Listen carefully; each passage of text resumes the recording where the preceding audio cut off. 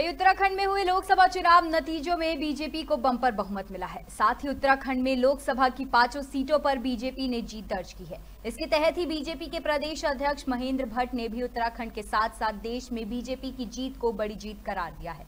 उन्होंने कहा है कि इंडी गठबंधन वाले देखते रह गए और पीएम मोदी तीसरी बार प्रधानमंत्री बन गए। देखिए, देश के प्रधानमंत्री जी ने उत्तराखंड राज्य के विकास के लिए जितने कदम उठाए, वो जनता के हृदय में वो बातें थी। अभी माननीय मुख्यमंत्री जी ने अपने उद्बोधन इसका चर्चा की है, चाहे ऑल वेदर रोड हो, चाहे रेलवे कनेक्टिविटी हो, चाहे हवाई कनेक्टिविटी हो, इसमें देवभूमि के पर्यटन को बढ़ाने में, यहाँ के तीर्थाटन को बढ़ाने में बहुत बड़ा योगदान प्रधानमंत्री जी का है। मुख्यमंत्री जी द्वारा जो योजनाएँ उत्तराखंड में लागू की, वो ऐतिहासिक योजना है वो ऐतिहासिक निर्णय जो पूरे भारतवर्ष के अंदर नजीर बने हैं। ऐसे अनेकों विषय और खास तौर पर इसका मैं बार बार उल्लेख करता हूँ, हमने निश्चय किया था कि हम पाँच कमल की माला मोदी जी को भेंट करेंगे। हम उस माला को भेंट करने में सफल हुए।